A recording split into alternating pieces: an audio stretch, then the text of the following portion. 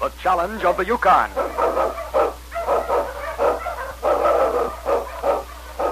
On King, on your Malamute!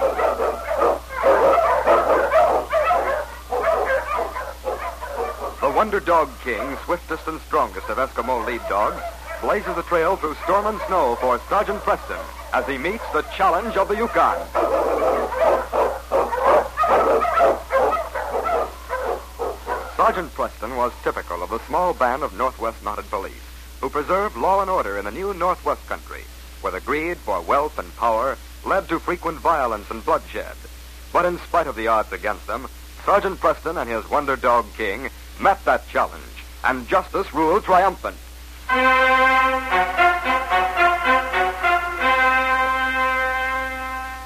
Sergeant Preston stood in the bank in Seahart, talking to a young clerk. And you say, Dave, that he was about six one, dark hair and eyes, heavy set? Sergeant Preston, I'm not likely to forget that man to the day I die.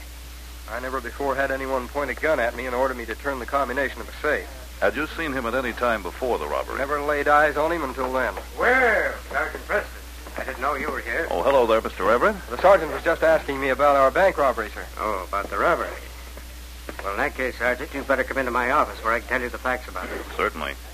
Dave tells me that you two were the only ones in the bank when the thief entered it. That's right. Uh, you go on with your work, will you, Dave? Yes, sir. Uh, right this way, Sergeant. Uh, sit down, won't you, Sergeant? Thank you. Now, if you'll just tell me what happened. Of course. It was after closing time. I...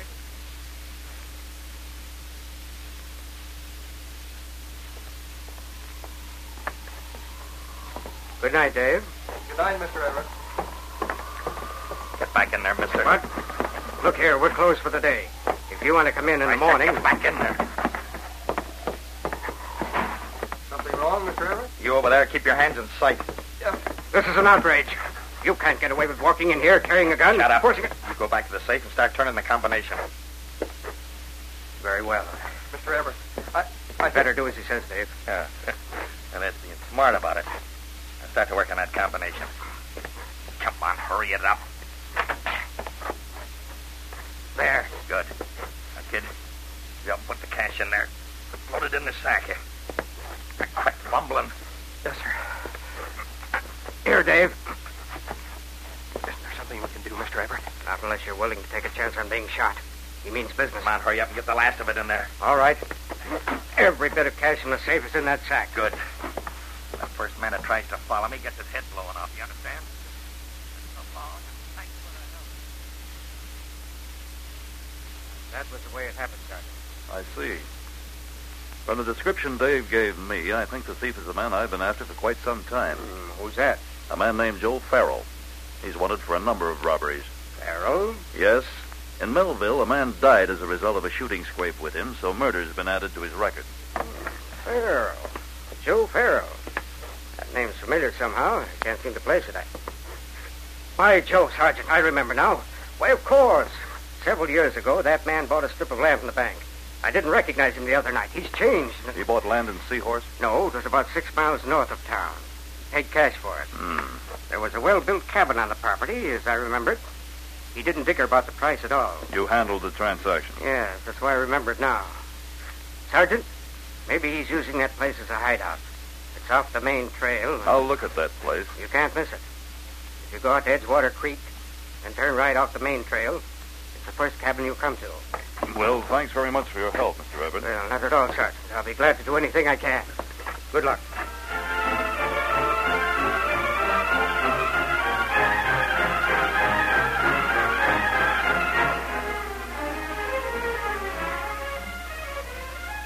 Short time later, King and Sergeant Preston were on the trail heading toward the cabin Clinton Everett had mentioned. The Mountie and his dog covered ground rapidly. That must be the place ahead of us, King. No smoke coming from the chimney, but these tracks look fresh. Now, let's see, boy. Anybody in here?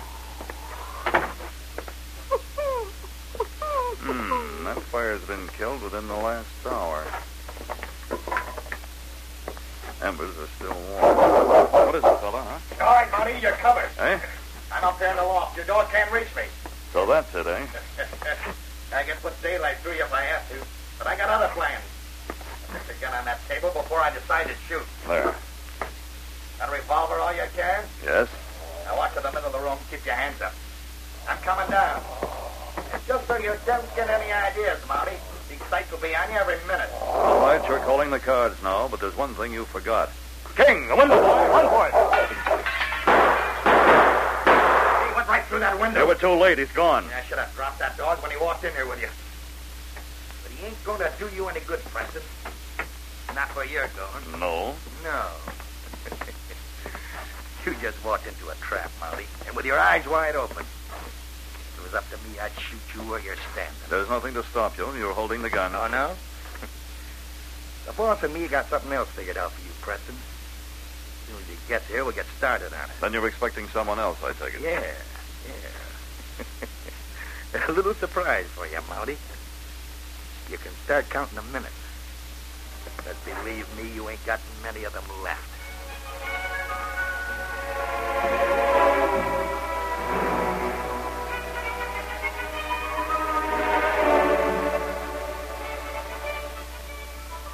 Short time later, the door of the cabin where Sergeant Preston was being held prisoner opened.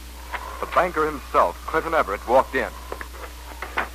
Well, I see you got it. Good work, Joe. He walked right in, just like you said he would, Mr. Everett. Mm-hmm. Well, we'll need some light in here. Well, Sergeant, are you surprised? Not at all. When I realized this was a trap, it wasn't difficult to connect you with it. And maybe you can guess what's in store for you. I know that neither one of you can afford to let me live. Yes, that's too bad. But I'll get the rope, Joe. There's one thing you overlooked. What? That window. It was broken when my dog jumped through it. Jumped through it. Joe, did you let that dog get away? I, I couldn't stop him, boss. He was out of here before I I could warned you about that dog. King went for help, Everett, and he'll be back here with it very soon. You bungling idiot, I told you. I told you that dog was poisoned to drop him before he could start any trouble. I couldn't do it until Preston was disarmed. He'd have got me, well, I got the dog. Ah, well, never mind. Well, we've got to work fast. I'll hit him over the head. You tie his hands and feet.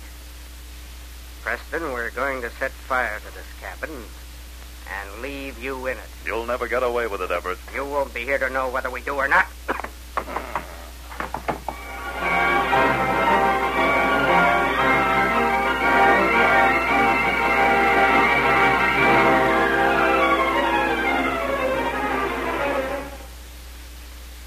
Great dog king arrived in Seahorse, he went directly to the office of the town constable.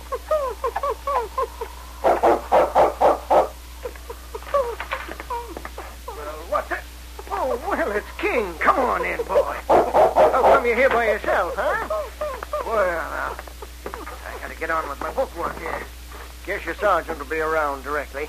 You two are never very far apart. now, on, Simon, what's wrong with you, fella? Hmm? Just let you in from the outside. Now you're scratching the door as if you wanted to get right back out again. Hey, now, now, cut it out. Let my leg alone. What's the idea, huh? I thought the sergeant taught you better manners, fella. Trying to sink your teeth into me like I was a hunk. Hey, wait a minute. Something funny about this. Preston was coming. He'd have been here by now. Hey, you want me to go with you, King? Is that it? Well, I should have known something was wrong. Wait till I get my Mackinaw on, boy. All right, King. You lead the way, and I'll be right with you.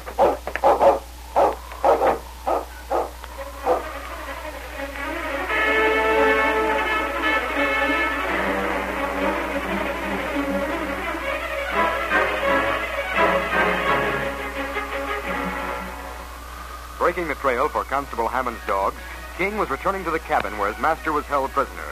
The Malamute tilted his sensitive nose in the air. Mingled with the sharp, clear sense of the wilderness was the acrid, pungent odor of smoke. Instinctively, King knew it was the cabin burning, a cabin he'd left a short time ago. The dog set an even faster pace for himself. His one thought was a terrible fear of his master's safety. He must reach him immediately.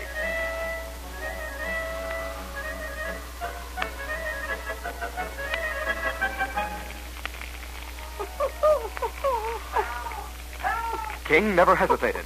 The door to the cabin was closed, and already flames were edging it, leaping hungrily with every second. But the window. The Malamute jumped through the window, the same window through which he'd escaped. The smoke was suffocating. Momentarily, the dog's eyes blurred. and in the fury of the fire, he stopped, trying to locate his master. Hey, hey, old boy. the ropes. The ropes, fella, you'll have to cut them with your teeth. That's it. That's it, boy. A little more, and I'll be able to. There, my hands are free. Now the rope's on my feet, fella. Good work, fella. Now I can. There. Come on, boy. You'll have to lead me to the door. There's some smoke. all right, fella. Sergeant Preston! Sergeant, are you all right? Yes, I'm all right, Constable. Thanks to King. When the dog came in alone, I knew that there was something wrong. What happened? Clint Everett is working with Farrell, the bank robber I was trailing. I came out here and walked into a trap. They tied me up and set fire to the cabin. Oh, I the murdering skunks. They ought to hang for this. We're going to see that they're brought to jail for it. Send us up to a miner's jury. Get the dogs ready to travel, King. Jumping Jupiter! You didn't get out of that cabin a mite too soon, Sergeant. Look at that. The whole thing's caved in. And if it hadn't been for King, I'd have been. Come on, Constable. We got a trail to follow. Sure, All right, Sergeant. fella. On King! On your!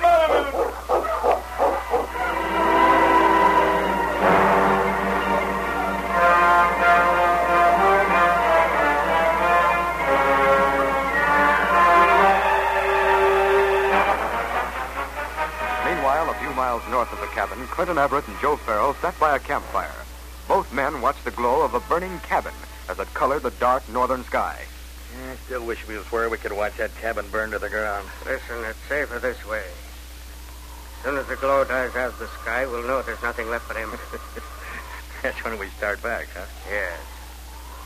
When we get back there, we'll start looking around. Just to make sure there's no sign of any rope in the ruin. By now, there ain't nothing left of the rope for Preston either. Well, I'm not taking any chances. If another Mountie would have browsed through those ruins and find evidences of short pieces of rope, that'd blow the accident theory sky high. Ah, there ain't another Mountie 300 miles of the place. You never know about Mounties, my friend. Hey, it's like somebody mushing along the trail. Why, why they, they must have just come past the cabin. If any questions are asked, we just noticed that glow in the sky and we're about to start over. So Sure, boss. I... Hey, you see that lead dog coming? Yeah. it's a free lead.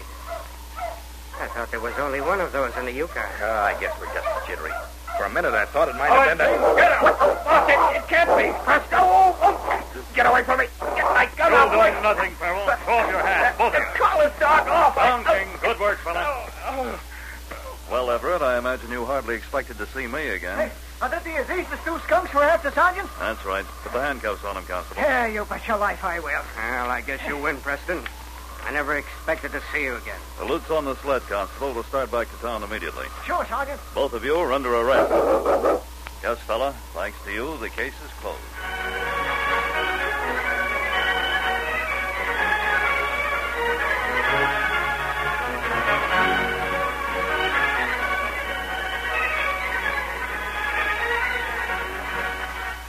These copyrighted dramas originate in the studios of WXYZ Detroit, and all characters, names, places, and incidents used are fictitious.